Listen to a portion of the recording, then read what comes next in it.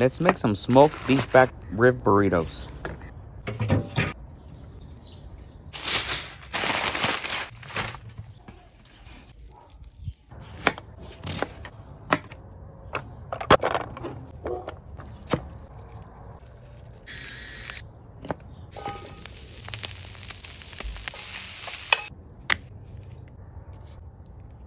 These came out absolutely fantastic. Go ahead and give it a go.